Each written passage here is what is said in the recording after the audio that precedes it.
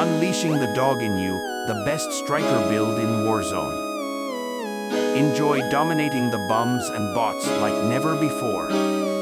Let's look at LocknLoad's dominant multiplayer and Warzone build. First, equip your striker with the no stock attachment. This stockless modification greatly improves mobility and handling. Next, add the 48 round mag.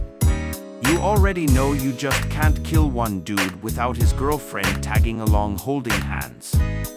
They stack out here for real for real, so you gotta be ready. No build is complete without the right underbarrel. Equip the XRK Edge BW for handstop.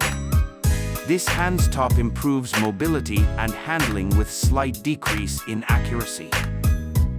Equip the Sonic Suppressor S, a heavy-duty suppressor built to reduce sound profile and hide your ass from appearing on the mini-map. Finally, add an optic. I use the Slimline Pro.